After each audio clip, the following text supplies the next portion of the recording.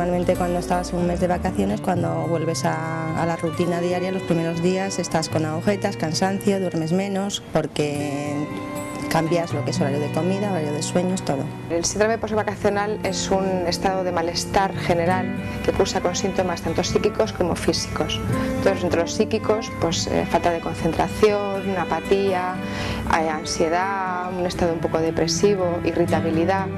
Y eso mm, lleva unos síntomas físicos, eh, que son por ejemplo el insomnio, eh, la falta de apetito, las cefaleas, dolores de cabeza, dolores de estómago. Está muy influido por la motivación laboral que se tenga. Afecta tanto a adultos como a niños que se incorporan al periodo escolar o a la vida académica y sí puede llegar a ser un problema. Lo más importante es darse cuenta de que es algo pasajero, ¿eh? que dura pues entre 7 y 10 días y que mm, se, se, resuelve solo.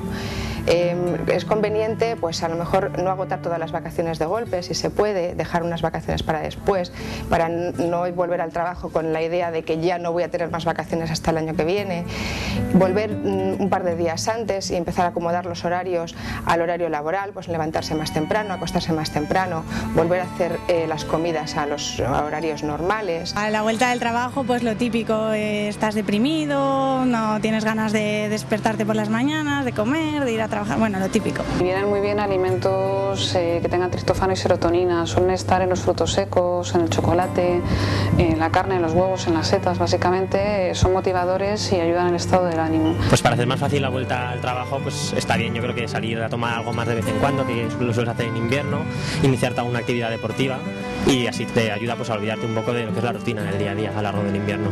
Y a los niños se les aconseja que, mm, que colaboren en las tareas del colegio, en preparar sus uniformes, en comprar el material escolar y que vean a sus compañeros con los que van a empezar el colegio.